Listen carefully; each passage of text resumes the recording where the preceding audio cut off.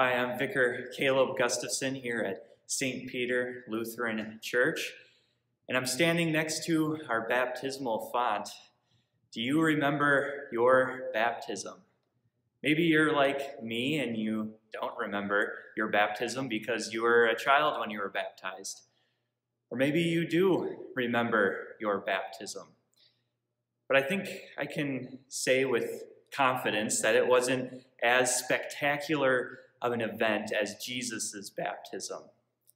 I don't think heaven opened up for any of us or the Holy Spirit descended on us like a, in the form of a dove or the Father speaking from heaven, This is my son or daughter. With him I am well pleased. But at our baptism, something miraculous did happen.